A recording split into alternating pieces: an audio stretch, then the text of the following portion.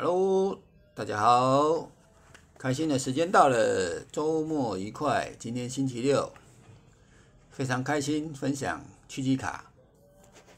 今天所抽到的四张卡，等等太阳卡的部分不需操心，你不需要去了解到底功德是如何计算，因为人在做，天在看。当你达到一定水平，功德自然加倍，根本不用你操心。他算的比你还精准，因为这些都是天地的机制，所以一切功德就在于我们自己的心。太阳圣德导师有个概念分享：现代人、古人感叹。书到用时方恨少，现代人则是得到用时方恨方恨少。功德这种东西很奇妙，你越精算就越算越少，你越不计较，心里就越踏实。越踏实之后，就越感觉丰富，如同如此就能形成一个善性循环后，心中会更加笃定、平安和富足。而修行所做的一切都是自己的事，你要如何做都是你自己的抉择。能够发心真诚的去做，就是对自己和天地负责。所以在练习心法当中，如果小光点对你做出某种示意或赐福于你，届时智智慧明白太阳圣德导师所说之意涵。今天抽到这一张卡，就是告诉自己，尽情的去做，挥洒的去做，用心的去做，不用去想太多，发大愿就去执行，简单不用想。第二张卡抽到的是舍我其谁。修行时若没有大的愿力或志向，就容易随波逐流，要有舍我其谁的心态。好好为天地做些事情，冥冥之中，天地就会为你安排该走的路。太阳圣德导师，感恩导师，抽到这张卡，给自己一个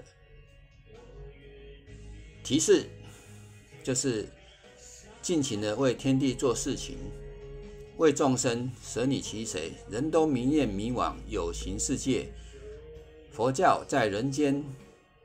有几千年的历史，跟人之间的感情就比较深刻，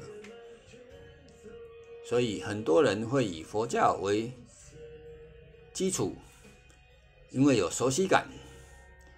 但是分享一个，就是有一个守则，就是法界里面的一个守则，对于你的法及导师越有恭敬心，就越能得成就。所以抽到这张卡，也就是要。对导师更加的臣服，对天地要去问自己，不是自己认为臣服，而是天地怎么看，这才是真实的。所以一定要修炼到一个臣服，才能够连接到天地。第三张卡抽到的是修行没有捷径。没有将超级生命密码正确的逻辑观念融入生活，是不可能从心法上获得利益。超级生命密码系统绝不允许学员走捷径，修行人只要走捷径就是入魔的开始。甚至太阳圣德导师，太阳圣德导师有说过，要将超级生命密码的基础理论融入生活。如果没有将这个融入生活，就开始想要练心法，这个叫道法，是很严重的事情。没有读超级生命密码，却天天练心法的人，不练还好，练了一定会诸事不顺。确实，这已经有许多的家人也因为如此，后来出事情以后才来参加精英会。他的分享确实。不要用自己的想法，就是要听话照做。所以，如果不愿意读书的人，就不用谈练心法，这是一个最基础的。所以，精英会是很重要的。许多人因为精英会的能量共振，每个礼拜去三场，短短的一个月之间，整个面相也改变，这是不争的事实。